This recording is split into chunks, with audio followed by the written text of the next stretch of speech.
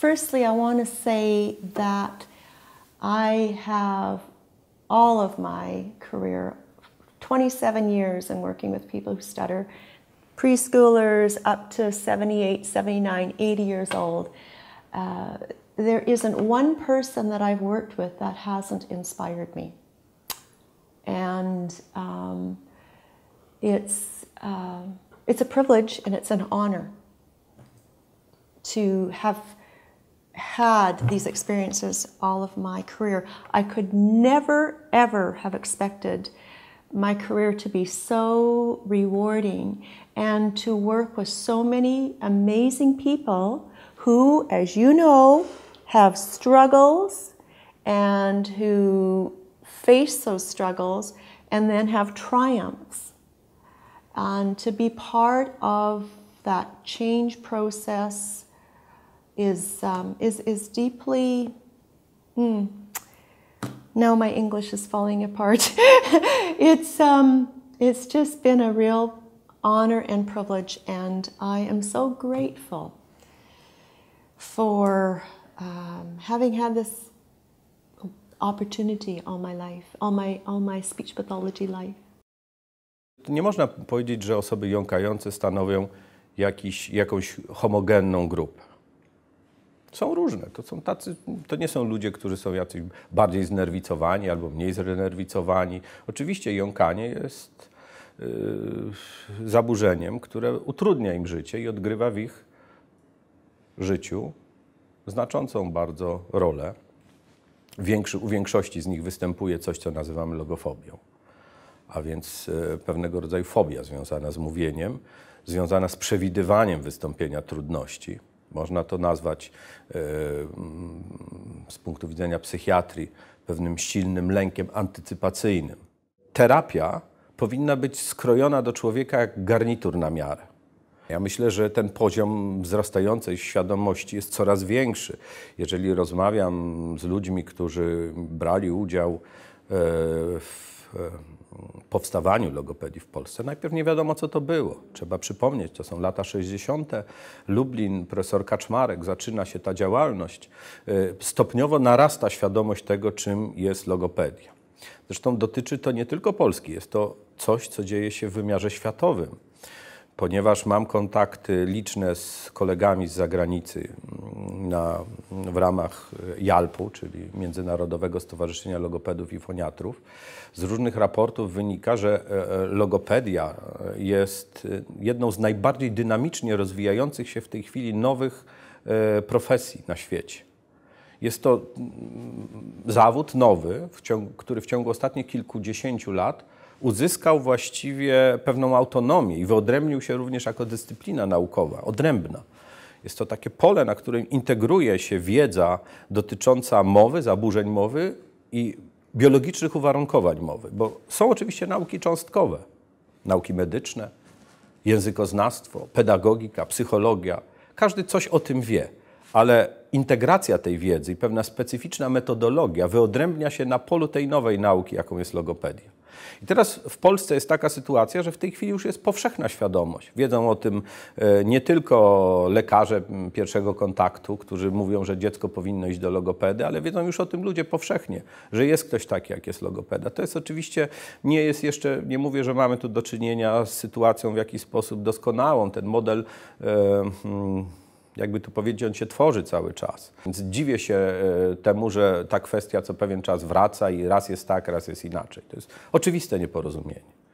Natomiast jest coraz lepiej. No to, to każdy, kto ma jąkające się dziecko, czy dziecko z wadą wymowy, czy dziecko z autyzmem, czy, czy ma na przykład rodzica e, po wylewie, czy, czy udarze z e, afazją, no to potrzebuje takiego specjalisty, bo, bo lekarz tego nie zrobi.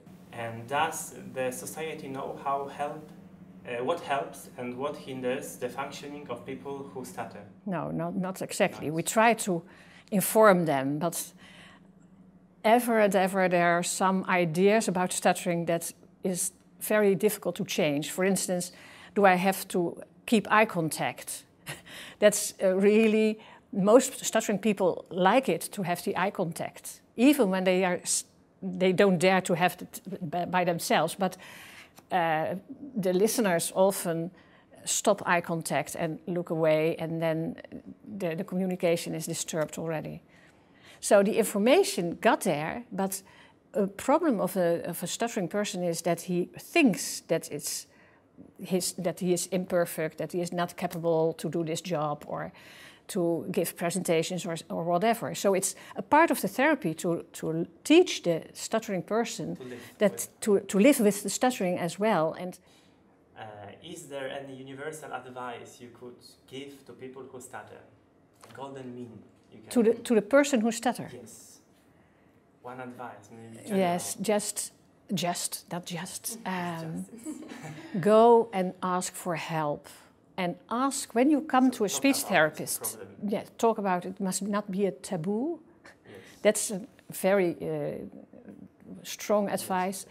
And when you uh, go come in contact with a speech therapist, ask him whether he is has extra knowledge about stuttering because unfortunately, I don't know in Poland, but in the Netherlands still there are some th- speech therapists who right away start with fluency training when there are cognitively and emotionally pro- uh, uh, problems, cognitive and emotional problems to the to the stuttering problem as well. And then I think you you need to to ask help uh, at, uh, with a, a speech therapist who knows how to deal that aspects also. So you- you're a client. You're, you may ask whether some uh, some therapist has experience with uh, with stuttering therapy. So the most important thing is to go. To go to and ask uh, help. yes, and talk about it. Talk about about it, this. and eventually, the most strong therapy for people who stutter is talk, talk, talk, talk. Whatever you stutter or not, talk. Tak bardzo często e, niepłynność mówienia utożsamia się z jąkaniem, a przecież jest ona tutaj zjawiskiem o wiele szerszym.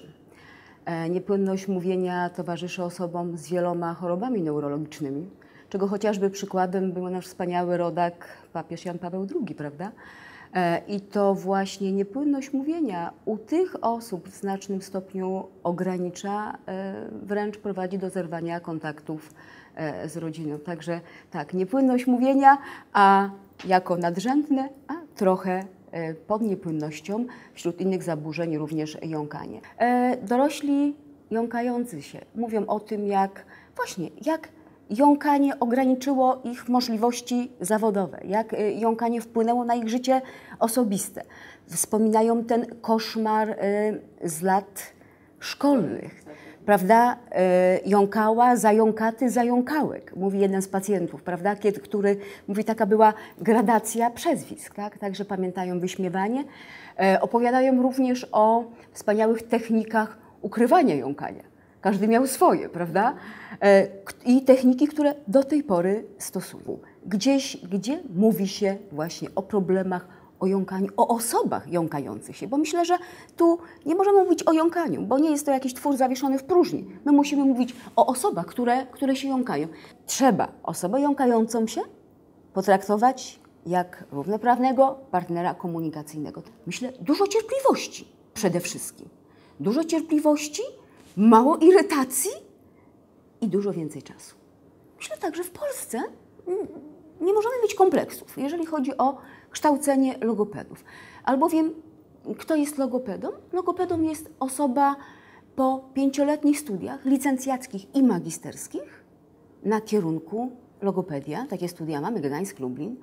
E, Logopedą jest osoba e, po studiach licencjackich i magisterskich na specjalności logopedia.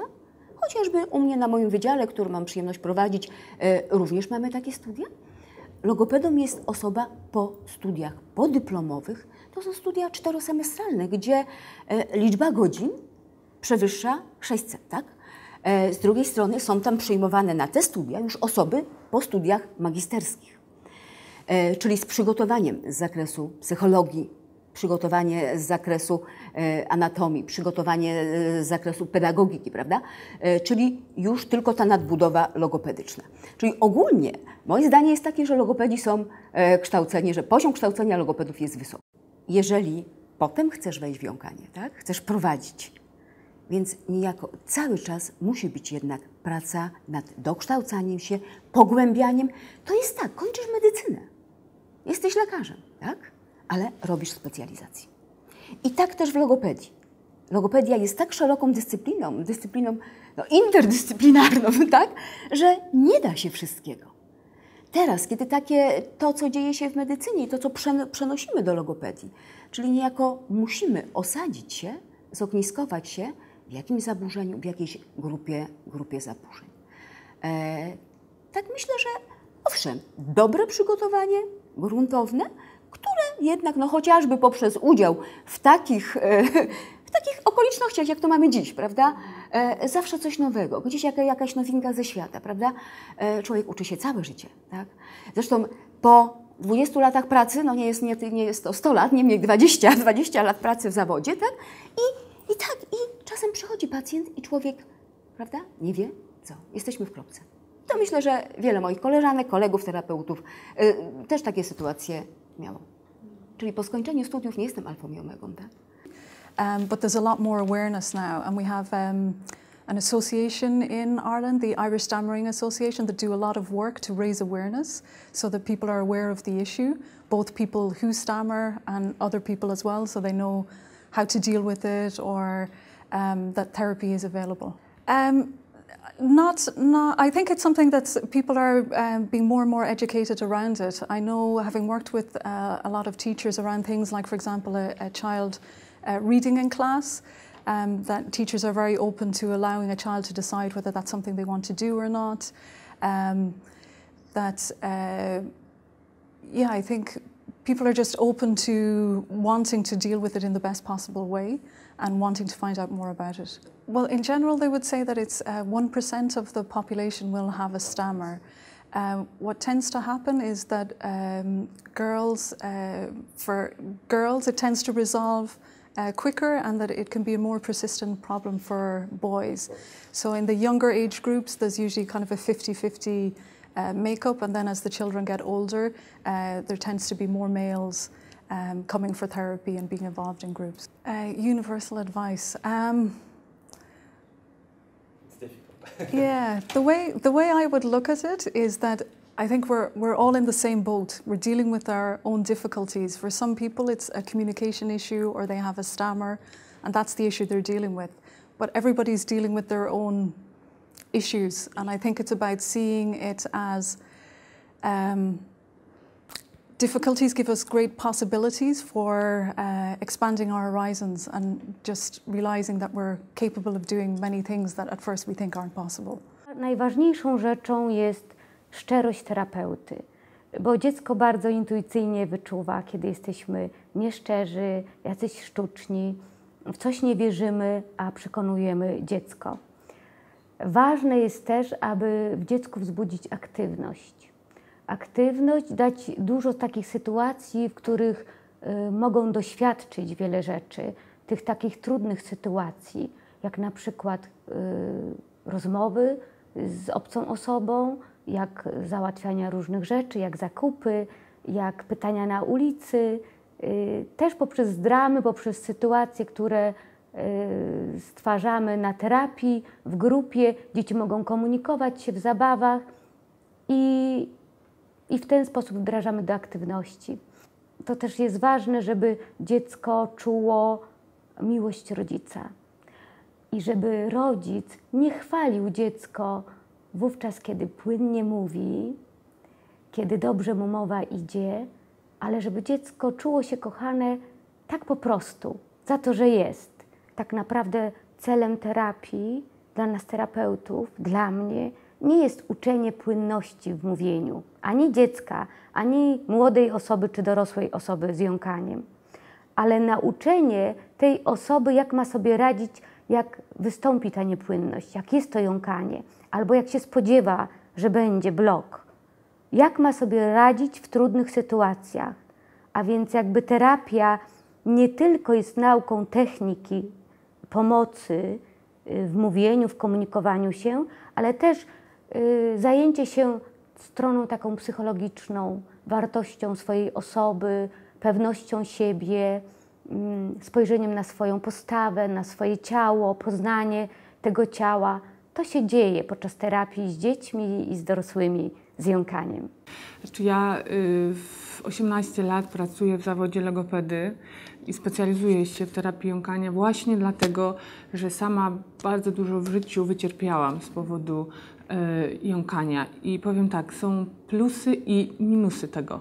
Y, minus, taki króciutki, łapię się często na tym, że czasami zbyt subiektywnie podchodzę do problemu i do pacjenta. Patrzę na jego problemy przez pryzmat swojego stosunku do jąkania. Natomiast wydaje mi się, że ta sytuacja ma więcej plusów jednak niż minusów, dlatego że czuję to, tak? Ja czuję to jąkanie, wiem dokładnie, że tak powiem, czym to się je i wszystkie metody, techniki, sposoby radzenia sobie z jąkaniem zawsze przepracowywałam najpierw na sobie. I myślę, że dopóki się koncentrowałem na tym, żeby mówić płynnie i bardzo chciałem mówić płynnie, to, to ten cel, był nierealny.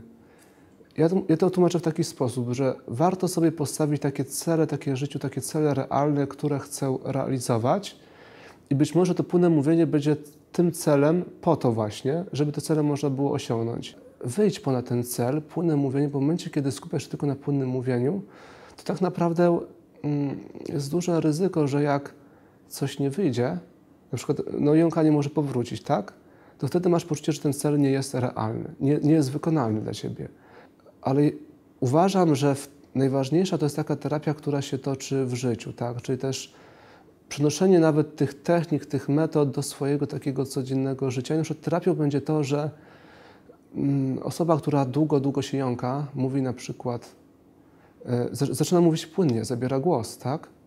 Widzi, że ludzie ją mogą słuchać, że ludzie ją słuchają, przestaje się koncentrować tylko na swoim mówieniu, a na przykład na tym, co chce przekazać. Mówienie o wyleczalności zjąkania jest o tyle trudne, ponieważ nawet wyleczenie zjąkania to jest splot co najmniej kilku czynników. Ja sam nawet na tej konferencji prezentuję badania właśnie o powiązaniu wybranych czynników psychospołecznych ze skutecznością terapii jąkania. I tam właśnie pokazuje, że z naszym jąkaniem jest powiązana nasza historia życia. Czy na przykład sytuacje, jakie mieliśmy z, związane z jąkaniem, to szczególnie nosi, w pamięci zapadają sytuacje lękotwórcze, sytuacje stresowe. Dochodzi też na przykład nasza samoocena, tak? obraz siebie, który się kształtuje.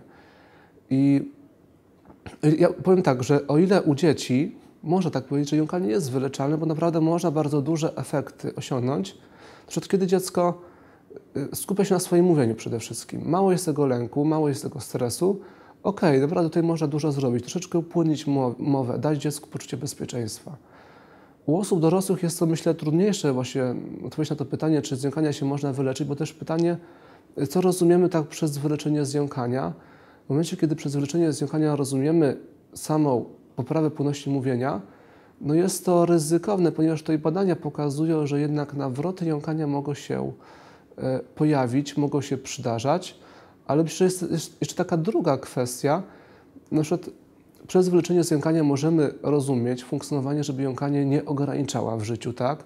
Żeby nie było takiego hamowania swojego mówienia, i tutaj na przykład powstaje paradoks. Ja znam osobę jąkającą, która się jąka, ale mówi swobodnie, mówi płynnie, mówi to, co chce.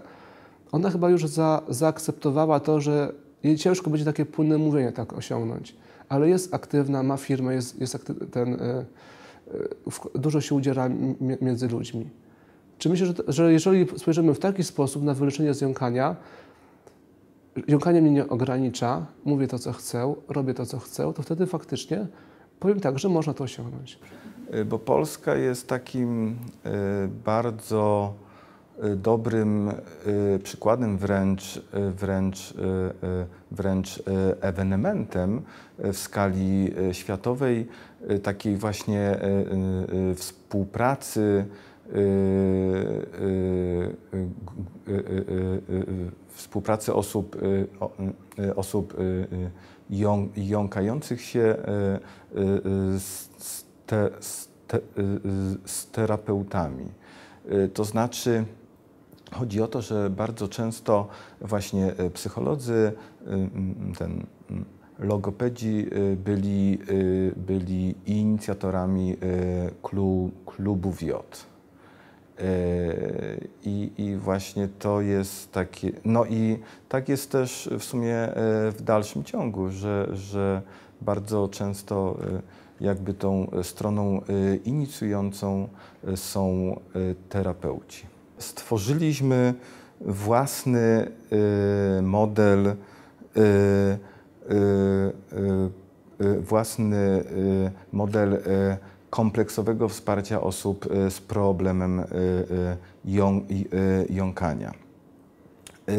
Na niego składa się między innymi to, że organizujemy już od blisko 25 lat turnusy, y, y, turnusy, turnusy, turnusy terapeutyczne. Są to, są to największe tur, turnusy w Polsce. Dzięki temu, że one są takie duże, możemy tworzyć 4 do 5 grup wiekowych. Dzięki temu ta właśnie e, terapia jest bardziej e, sensowna. Bardzo trudno osobom jąkającym się jest wdrożyć te umiejętności, e, te powiedzmy techniki, które nabędą w czasie terapii. Klub jest takim doskonałym miejscem, doskonałym poligonem, gdzie łatwiej jest y, y, te y, metody przećwiczyć, nim wyjdzie się do tego już normalnego życia. Że w zasadzie w Polsce nie ma specjalistycznej, specjalistycznej placówki, która by się w profesjonalny sposób zajmowała terapią osób y, y, jąkających się. Chodzi mi tu o taką, gdzie byłoby to sfinansowane przykładowo, y, przykładowo z Narodowego Funduszu Zdrowia, gdzie by osoby dwa tygodnie były, trzy czy tam cztery i byłoby to oczywiście w dalszym czasie kontynuowane. Zdecydowanie podejmować terapię. E, znaczy na pewno nie jest to łatwa decyzja. Sama bardzo długo zwlekałam z rozpoczęciem terapii i może gdybym podjęła tę decyzję wcześniej, e, to też wcześniej bym poczuła się o wiele lepiej i pewniej z tym, jaka jestem. E, natomiast każdemu mogę poradzić rozpoczęcie terapii, ponieważ jest to na pewno obarczone wielką pracą, natomiast wydaje mi się, że, że każdy, jeżeli chce, to jest w stanie coś ze, ze swoim jąkaniem zrobić. Kiedy, ja, nastąpił ten moment? Ja bardzo długo pracuję. E, od 14 roku życia chodzę na terapię, 6 lat. E, był to okres bardzo ciężki, natomiast teraz wiem, że było warto. E, mówi mi się fajnie i, i, wydaje mi się, że, że był to okres najcięższy w moim życiu, ale też taki najbardziej owocny. Że teraz wiem, że, że naprawdę było warto. Bardzo długo sama się przed sobą nie przyznawałam, że mam ten problem. Ukrywałam go przed wszystkimi, starałam się, e, jak wiemy, czym bardziej się ukrywa, tym bardziej ten problem wychodzi. E, dopiero po pewnym czasie, kiedy zaczęło mi to już tak naprawdę bardzo przeszkadzać, e, zdecydowałam, że, że muszę coś z tym zrobić, bo jąka nie zaczęło mnie kontrolować. Nie mówiłam wtedy, kiedy nie musiałam, ale też nie mówiłam wtedy, kiedy no, powinnam to robić, tak? Uciekałam przed jakimiś ciężkimi sytuacjami w szkole, e, co skutkowało tym, że byłam taka bardzo nieśmiała, zamknięta w sobie, no i stwierdziłam, że, że muszę coś z tym zrobić, bo nie da się tak dłużej. I to chyba zadecydowało. Tak, z nieśmiałej, bardzo zamkniętej w sobie osoby otworzyłam się może jeszcze nie tak bardzo, jakbym chciała, bo są jednak sytuacje, w których y, wolę trzymać się z tyłu. Natomiast już nie boję się odzywać. E, jest mi o wiele łatwiej w kontaktach z, z rówieśnikami, z moimi przyjaciółmi i wydaje mi się, że, że to jest właśnie e, ten cel, który oś, osiągnęłam. Że już nie jestem e, sama z boku, tylko już w jakiejś tam większej grupie osób. Dla mnie celem było zmienić myślenie bo tak naprawdę e, kiedyś myślałam, że ludzie oceniają mnie e, przez pryzmat tego, jak mówię właśnie. E, czułam się z tym źle, bardzo się tego wstydziłam. Teraz już wiem, że że e, ludzi tak naprawdę nie obchodzi w większości to, jak ja mówię, tylko to się, siedziało gdzieś tam we mnie. Ja, ja czasami przypisywałam reakcje innym osobom, że, że ktoś się ze mnie nabija, ktoś się, się ze mnie śmieje, a to wcale nie było tak. I dlatego też się trzymałam z tyłu i, i jakoś tak byłam wycofana. E, I dla mnie właśnie celem było zmiana nastawienia. Zmiana nastawienia do siebie. Zaakceptowałam siebie, nie polubiłam jąkania, bo chyba się tego nie da zrobić, natomiast za, zaakceptowałam to i, i ak akceptuję to, jak mówię w tym momencie. Dokładnie, ja też właśnie wychodzę z tego, z tego założenia, że jąkać się pewnie do końca życia będę i wydaje mi się, że celem nie jest to, żeby mówić w 100% i, i płynnie i jakoś tak jakoś dążyć do jakiejś wielkiej i, i perfekcji i nie, nieomylności, natomiast wydaje mi się, że właśnie nastawienie to jest, to jest właśnie o wiele ważniejszy czynnik tego, tego wszystkiego. Odbiór społeczny? Um, hmm. To zależy przez jaką grupę osób. Przykładowo dzieci uważają to coś za początkowo coś śmiesznego. Patrzcie, patrzcie, jak on ty zabawnie mówi. To powtarza jakieś inne sylaby, litery. Bądź też ma takie bloki. No, dla osób dorosłych, jąkających się, nie, nie jest to aż takie jakby przykre, ale mniejsze dzieci mogą mieć z tym problem, że są wyśmiewane. W osoby starsze, jakoś tak już dorosłe, no nie będę mówił grupy, osoby starsze albo zdają sobie sprawę z tego, że to jest problem, że to jest problem niezależny od tych osób, albo też uważają to za pewien wygłup, że, że dana osoba sobie z nich, z nich żartuje. No coś tego typu.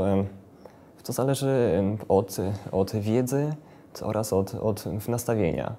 Można przykładowo, e, e, mając taką osobę w rodzinie bądź w takim bliższym gronie osób, e, wiedzieć, że, że ta osoba jąkająca jest jakby mm, jest pod wpływem tego jąkania. To nie jest od niej całkowicie zależne. To jest coś, co siedzi w jej psychice bardziej także różnie. Przykładowo, szkoła podstawowa, to moja nauczycielka od niemieckiego. Początkowo była bardzo e, niezadowolona, że sobie e, jak, e, jakieś dziecko e, robi z niej żarty, mówiąc w sposób dość nietypowy. Ty zacina się jąka.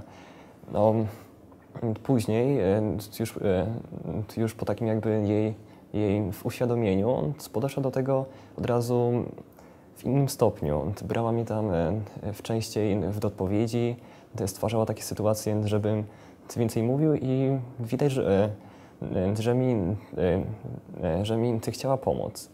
A także są osoby, w nauczyciele, w którzy już, w którzy już mieli z tym styczność i, i starają się albo inne dzieci przed tym trochę przestrzegać, przed takim naśmiewaniem się z tych osób, e, mówiąc o tym ty na lekcji, bądź też e, próbują stwarzać takie sytuacje terapeutyczne, czyli dziecko nakłaniać do takich dłuższych wypowiedzi, ale spokojnych, wolniejszych, jego przemyślenia. To wszystko zależy od, e, od podejścia danego nauczyciela i od tego, czy już miał wcześniej styczność z tym problemem. To jest, jak, to zawsze jakaś odskocznia od tego normalnego życia, gdzie tam ty zawsze się człowiek podświadomie boi, o Boże, ty dowiedzą się, ty, że się jąkam, jak na to ty zareagują.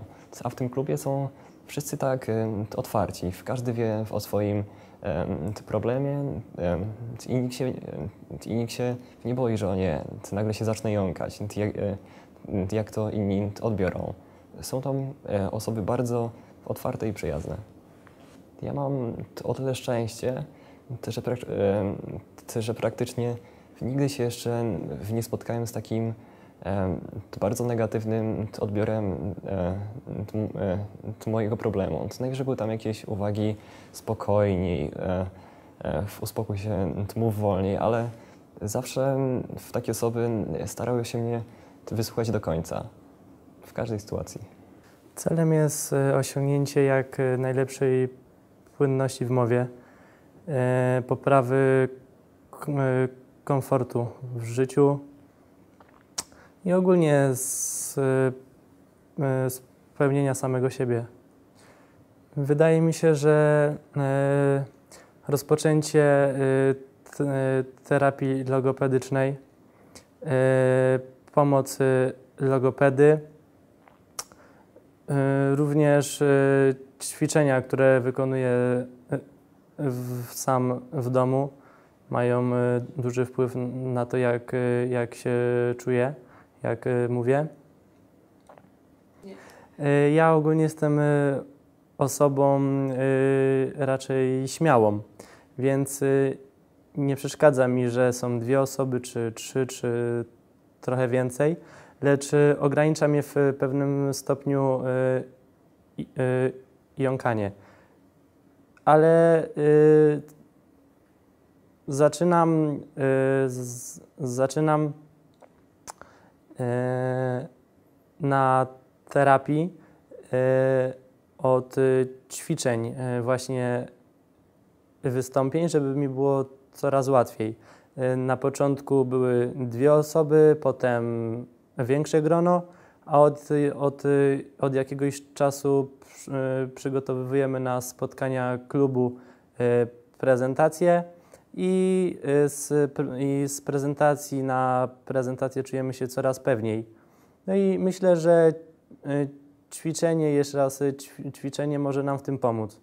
Staram się wyciągać wnioski z każdej prezentacji czy wystąpienia, bo jedna była lepsza, druga gorsza, ale takiej najlepszej ch chyba nie mam. Wszyscy, jak, wszyscy sobie nawzajem jakby dodajemy otuchy. Yy, wzrasta nasza pewność siebie. No a oczywiście po, poza tym no, można tam oczywiście spotkać pełno interesujących osób. I dlatego uważam, że uczestnictwo oraz same takie kluby są bardzo istotne. Po klubie się czuję tak łatwiej, taki naładowany taką mm, pozytywną energią i, zdecydowanie przybliża mnie to do, do celu, jakim jest wyeliminowanie lub zminimalizowanie mojego ająkania. Czyli co, mógłby Pan zaprosić wszystkich, którzy mają problem z niepłynnością tak. do klubu? Tak, więc zapraszam wszystkich e, do klubu ludzi e, mówiących płynnie, znajdującym się na Wydziale Filologicznym Uniwersytetu Śląskiego u nas, w, w Katowicach. Wydaje mi się, że problem mm, ogólnie z wadami wymowy w Polsce jest bardzo mało nagłośniony oraz bardzo mało się o nim mówi. E, w szkołach dzieci mają jakąś tam opiekę logopedyczną, natomiast jest to opieka niewystarczająca. E, potem te dzieci idą dalej w świat, e, zaczynają studia i problem się zaczyna. Problem może być w pracy, problem może być yy, natury różnej, wszędzie tak naprawdę. Uważam, że taka konferencja, jaka, jaka dzisiaj jest y, na wydziale tutaj, może bardzo pomóc ogólnie pokazać ludziom, mm, jakie typy y, wad wymowy są, jak pomagać takim ludziom, jak reagować może, żeby nie było takiej reakcji bardzo wyraźnej, mm, takiej szokującej wręcz, że ktoś się jąka, ponieważ są również różne typy jąkania. Mniej takie mm, wyraźne oraz takie bardzo wyraźne, które naprawdę mogą być szokujące dla człowieka, który nie miał styczności z takim człowiekiem wcześniej. Tak więc uważam, że każda konferencja, każdy artykuł, każda jakaś e, jakiś wywiad, jakaś książka taka bardziej publiczna e, może pomóc właśnie wszystkim ludziom, niekoniecznie tym, którzy pracują przy tym, e, zdobyć jakąś wiedzę na temat jąkania i wad wymowy. E, rozmowa i pani w sumie bardzo szybko wiedziała i zapytała się mnie wręcz, czy słyszałem o takim czymś kiedykolwiek, czy ktoś o tym mi powiedział. O giełkocie. Mhm. Giełkot. Powiedziałem, że nie. Mm, poczytałem troszkę, potem sobie stwierdziłem, że być może to to. Oby to było to, bo w końcu bym wiedział, co jest i co robić ewentualnie, jak pracować, żeby to polepszyć. I tak też się stało. Mm, zacząłem pracować nad tym, nad tym głównym problemem, właśnie giełkotem. No i myślę, że jest lepiej. Natomiast czas pokaże, myślę, że to jest, y, to jest y, kwestia czasu. Dłuższego. Myślę, że jestem zawsze gdzieś tam przy końcu, a na końcu nigdy nie będę.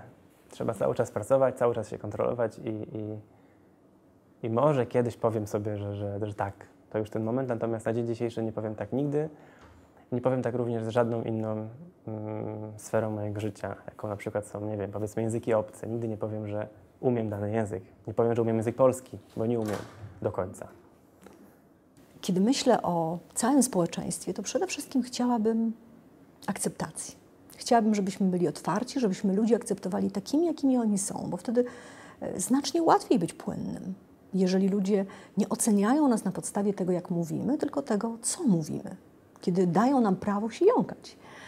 Jeśli myślę o logopedach, to myślę, że to jest bardzo ważne, żebyśmy my, logopedzi, byli gotowi słuchać naszych klientów, żebyśmy byli gotowi im decydować, czego oni chcą w terapii, co chcą osiągnąć. My jesteśmy specjalistami w dziedzinie jąkania i to my znamy się na technikach terapeutycznych, na narzędziach diagnostycznych i mamy obowiązek prezentować te narzędzia, prezentować prognozy terapeutyczne, mówić, co możemy zrobić, jakie są możliwości prowadzenia terapii, natomiast pozwólmy naszym klientom podejmować decyzje.